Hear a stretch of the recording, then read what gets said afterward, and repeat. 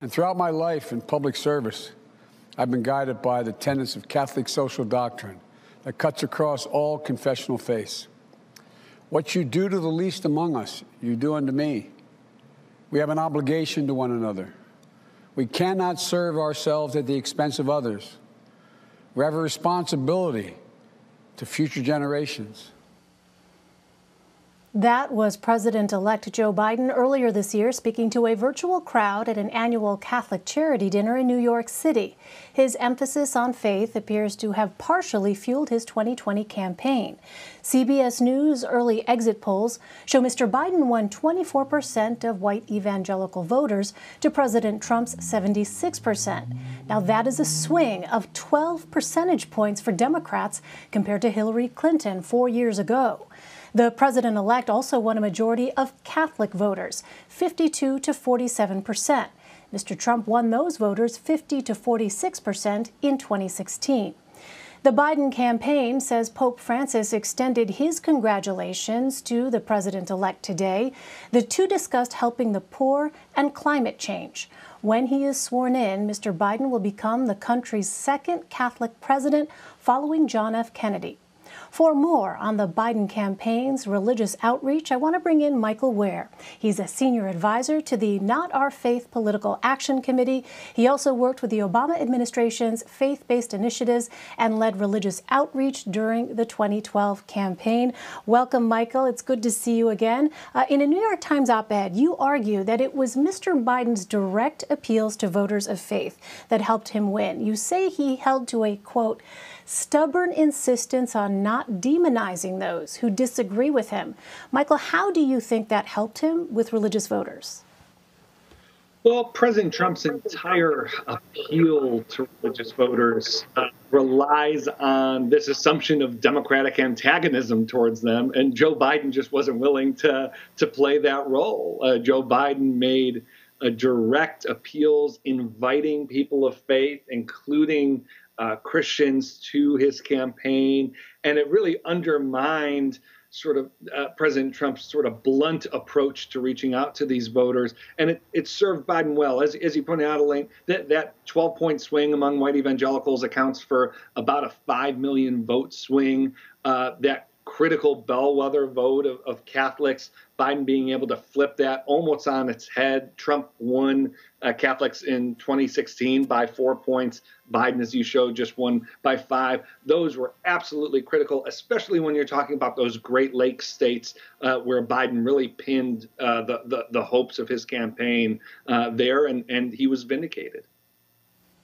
So let's dig in a little bit more. Our exit poll data show Mr. Biden's success with white evangelicals varied by state. So in Michigan, he won 29% of that group. But in southern states like Texas, North Carolina, and Georgia, he got around half of that. So help us understand, Michael, those state to state differences with white evangelical voters. Is that clear at this point? Yeah, so one, evangelicalism in the South is generally just more conservative than it is in the Rust Belt or in the Midwest. So that's that's number one. Uh, number two, um, I, I, think it's clear from my experience from looking at uh, social science research, you know, race does play a does play a, a, significant role in that difference. But then the third thing I'd point out is that even when you see those lower numbers in the South, take Georgia for instance, Uh, uh, uh, Hillary Clinton won only 5% of white evangelicals in Georgia. And white evangelicals in Georgia account for over 30% of the electorate.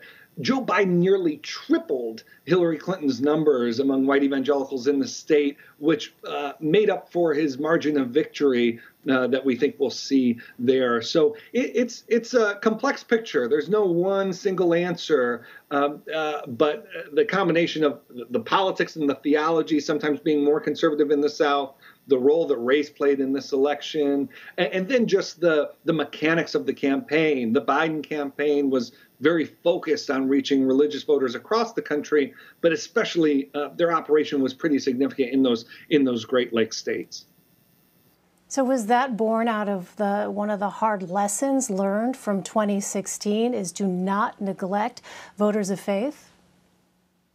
absolutely, and I'm I'm so glad, and I expected that Joe Biden would would learn that lesson. But you know, we we've discussed it was a was a major oversight uh, in in 2016. In 2020, Joe Biden just said that, that that that's not going to happen with me, in part because of who Joe Biden is. He testified throughout the campaign of the role that his Catholic upbringing, uh, what he's seen as someone who's been a public leader in this country uh, for so many decades, the, the, role he's seen faith played in our communities, the role that he's seen faith uh, play in helping this country get through some of its toughest times, um, it, that influenced his campaign to a great deal. I, I should also say he, he had a great campaign infrastructure. He had staff that understood the importance of faith, uh, and, and, that helped him out a great deal as well. So it's interesting when you look at the dynamics here. The gains that the president elect made with white evangelical voters are similar to the inroads, some might say, that President Trump made with black and Latino voters. Yet we know the president ultimately lost those groups by significant margins. But I wonder if you think that Mr. Biden has the ability to grow these voters of faith into a stronger voting bloc for Democrats. He does. And, you know, it's one thing to not be antagonistic during a campaign uh, where you know ideally you're asking for the votes of all Americans. It's another thing to prove that you're not antagonistic through governing. And so that doesn't mean that there aren't going to be serious policy disagreements.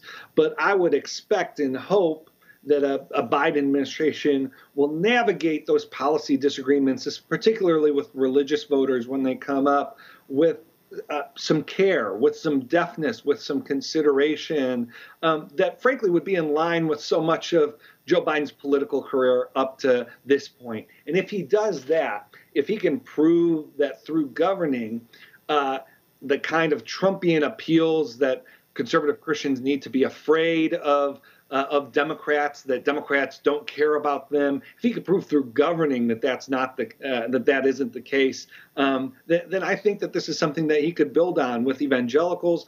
With uh, I think it's it's important to say.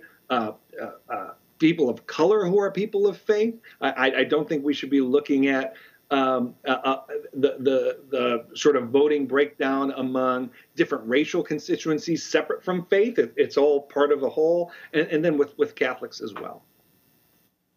You know, um, before the election, I had a chance to talk to some voters who uh, were voters of faith who were looking at Joe Biden and considering voting for him, but said the thing that gave them pause was abortion and so I wonder, uh, you mentioned policy, right?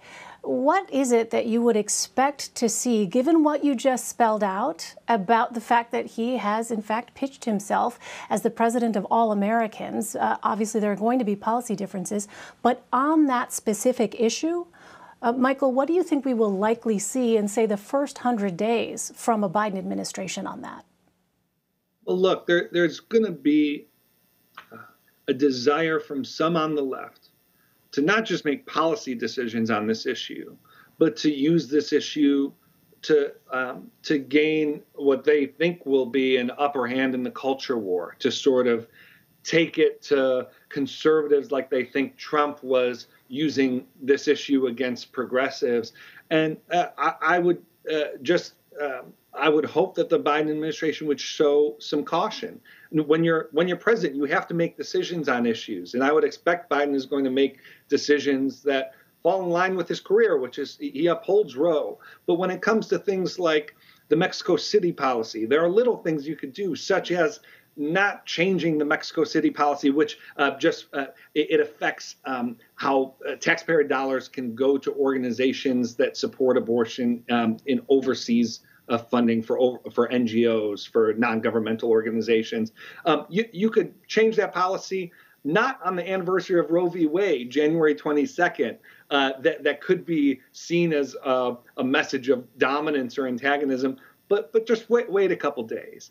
Um, there's going to be a fight over the Hyde Amendment, and uh, Biden's going. The Biden administration is ha- going to have to think about whether um, whether they're going to fight to um, repeal the Hyde Amendment, which refers to taxpayer uh, funding for abortion domestically, or or if they're not going to spend capital there and instead spend capital in getting health care uh, to more people and in passing uh, significant domestic spending bills that will help all Americans. These are the kinds of conflicts that will come up. Again, there are this is a divisive issue for a reason. There are no totally satisfactory answers. The most important thing is that the Biden administration and Joe Biden himself uh, uh, uh proceeds here uh, not in a way that's meant to stoke conflict or, or as Biden has said himself, raise raise the temperature, but that they seek to lower the temperature. Um, and again, Joe Biden's navigated this issue for decades. Uh, he's prided himself as being middle of the road on this issue uh, and someone who who is sensitive to the moral concerns that pro-life Americans have. And as long as he shows that concern, that nuance, I think he'll have enough capital to, to not just help him politically, but help our country to heal. All right, Michael Wear. Michael, thank you very much for your time. Thanks. Great being with you.